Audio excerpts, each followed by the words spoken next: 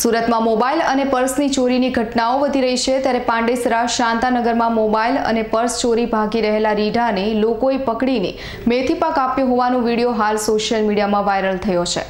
સુરતમાં ઘણા સમયથી મોબાઈલ અને પર્સની ચોરીની ઘટનાઓ વધી રહી છે. તો પોલીસ પણ આવા રીઢાઓને પકડવામાં પાછી પડી રહી હોય ત્યારે લોકોએ જ હવે પોતાની સુરક્ષાની જવાબદારી લીધી હોય તેમ લાગી રહ્યું છે.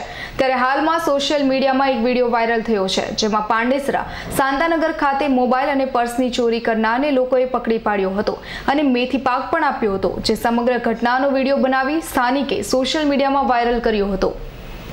Bureau report S nine news Surat.